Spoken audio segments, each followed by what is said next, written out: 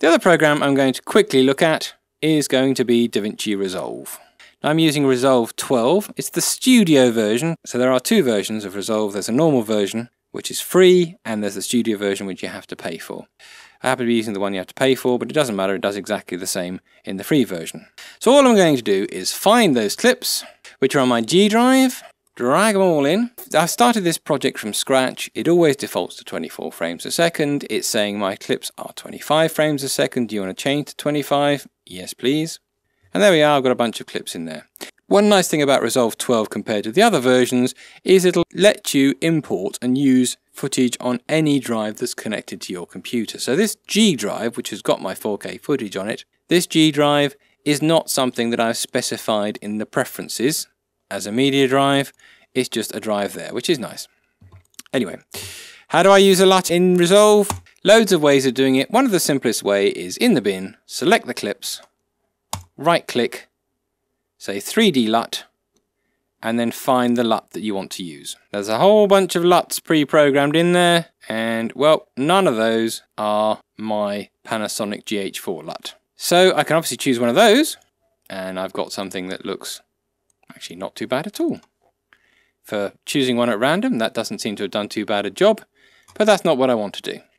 I want to actually use the LUT that I've downloaded. So I'm going to get out of this, save it, I am going to find the LUT on the hard drive. There we are. And then I'm going to go to my C drive, Program Data, Blackmagic, Resolve, Support, LUT.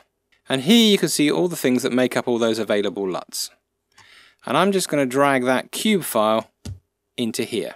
I'm then going to go back into Resolve, open up my project, select all those clips that I applied that LUT to, right click, 3D LUT, have a look through the list. Oh, it's added in the one that I was using, the vlog blah blah blah, whatever it's called. Click.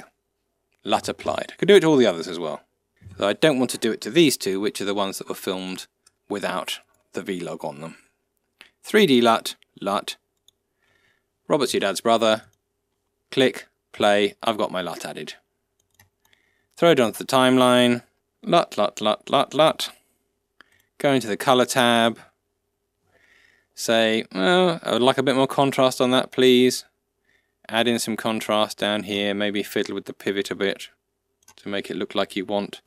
Click on the number two here, boost the color. I quite like doing that one. And also fiddle with the shadows a bit, maybe. Add a bit more detail in the mid-tones. This is like a sharpness, but only for certain areas. And yeah, maybe I've got a shot there which I quite like the look of. But very simple. Yeah, you add a LUT, then you fiddle with it. If you wanted to, you could use this to actually take a bunch of clips that you filmed and let's make up a new timeline. So I'm going to go timeline, create new timeline, bonk. Grab all the clips and throw them on there. So all these clips now have LUTs on them. And I could use it as a simple way of actually making clips with the LUT built into it. Go to the deliver panel and then output them in some kind of file. Now I'm going to choose to output them as individual source clips. These are the various formats that you've got. So the logical one is to use some kind of QuickTime file. It says AVI files, but the only kind of files it does are uncompressed or Cineform.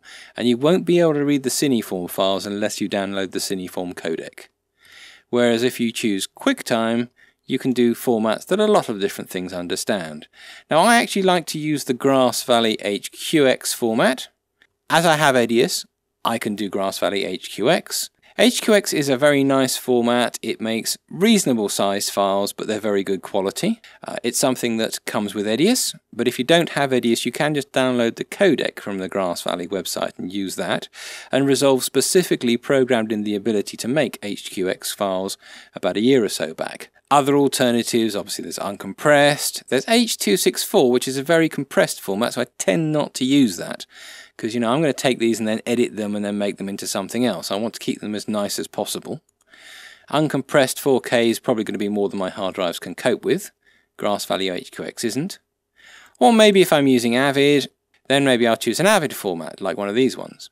You've got DNX HD, which only does up to HD sizes, and then DNX HR, which does any particular size you want.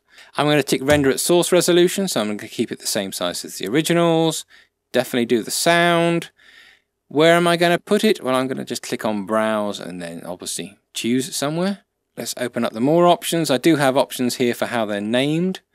So you can say we'll render them with unique names and it'll put numbers at the start and the end. These should all have unique names. I can probably ignore all of this lot as well and then just click add to render queue, adds it in, start render and off it'll go and take all of those clips and convert them into HQX with the LUT built in, with the LUT rendered in. And that's one option if what you want to do is actually apply a LUT and then take them off into another editing program. Now personally I don't bother, even if I'm using it in a program like Edius that can't do LUTs at the moment, I'll just use some other method of making them usable. It's a very simple way of doing it, and again, this program is free. There's a free version and a paid for version. The free version lets you grade clips up to UHD in size. It lets you do just about anything you like with them. What you get if you pay for it is it can do bigger than UHD, it can do stereoscopic, and it's got some nice noise reduction filters. But the free version does an awful lot. In version 12, they've added an awful lot of editing stuff, so it's actually quite a nice editing program. I've still got loads of reasons why I might use Premiere or Edius instead, but actually it is getting better and better.